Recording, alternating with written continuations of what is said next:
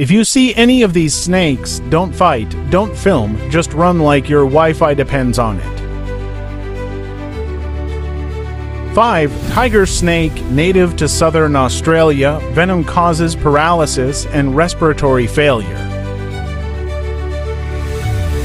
Number four the black mamba, Africa's deadliest snake, extremely fast and aggressive when threatened. Its venom can kill a man under 30 minutes. 3. Coastal taipan, less venomous than the inland taipan, but still deadly. It's fast and its venom attacks the nervous system and blood clotting. 2. Eastern brown snake, second most venomous snake, also found in Australia. Highly aggressive and responsible for most snake bite deaths there.